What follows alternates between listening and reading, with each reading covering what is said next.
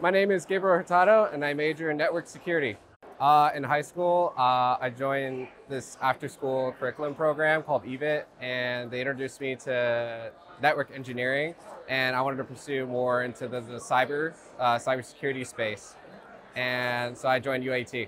Hopefully, find a job and uh, pursue in cybersecurity uh, field. It's probably more in like data centers, maybe. That would be great. Uh, UAT, they do have that whole like uh, one-to-one interactions with their students, and I had that experience a lot with my professors. And also, um, one of the other best things with UAT is that I made a lot of connections with a lot of people that I probably would never if I never went to UAT. I feel relieved. At least school is over, but it's like a new chapter, uh, pursuing in, into the more real-world scenario now. Uh, but I think it's, it's really exciting. Oh, my lanyard. Uh, my mom gave this to me. Uh, it's like uh, the color of the school, and also like in between, it's like the one dollar bills, which is pretty awesome. I think, especially my mom. Uh, my mom helped me throughout my whole career in UAT, my whole time. Uh, she helped with like dealing with all the personal issues in my life and also schoolwork too. It's been a really big inspiration for me. So, yeah. UAT is a very, uh, I would say, unique experience compared to probably most other schools, especially with that one-on-one interaction with your teachers. Also, many great people that I, I met, very talented and talented, uh, interesting people at UAT. So. So I'm Christopher Gilligan. I'm actually Gabriel Hurtado's stepdad, and uh, was happy to be here today to celebrate Gabe's graduation.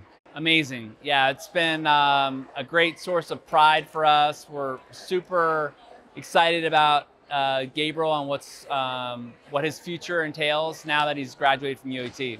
You know, both myself and his mom just supported his whole journey just from when he started, and we were kind of reminiscing about that as we were heading here today. And it seems like it was just yesterday, but uh, we've had many conversations and been supporting him along the way, and we're just we're just thrilled.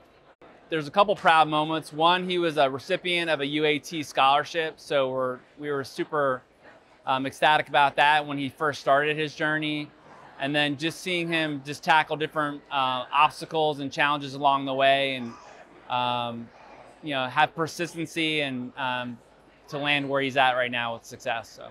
Yeah, I think the advice I would give is um, success is not a straight line. So oftentimes it goes like this, but that's okay. It's all part of uh, the learning experience and a part of the process.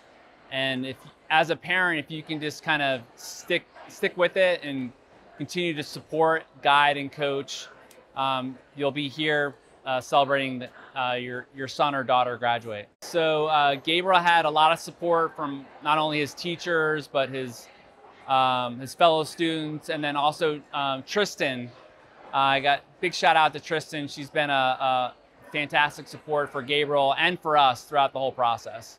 Student advisor, yeah. So her her um, I don't know her official title, but she's in a student advisor capacity. Yeah, uh, Gabriel, we're so proud of you. We love you. Congratulations.